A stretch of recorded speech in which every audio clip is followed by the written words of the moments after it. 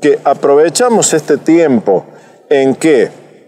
no se, no se estaba pudiendo ejecutar ningún tipo de obras porque la provincia estaba esperando los fondos para avanzar en todo el plan barrial que oportunamente eh, les, eh, les anunciamos. Plan barrial que va a toda marcha dentro de los tiempos previstos y todo lo que es la parte bacheo y obras de refuerzo de hormigonado, etcétera, etcétera, lo consensuamos y lo entregamos a APE Sociedad Anónima, aprovechando la presencia, la maquinaria pesada y el excelente trabajo eh, certificado por los ingenieros eh, que han realizado en Belleville, lo cual eh, nos reconforta.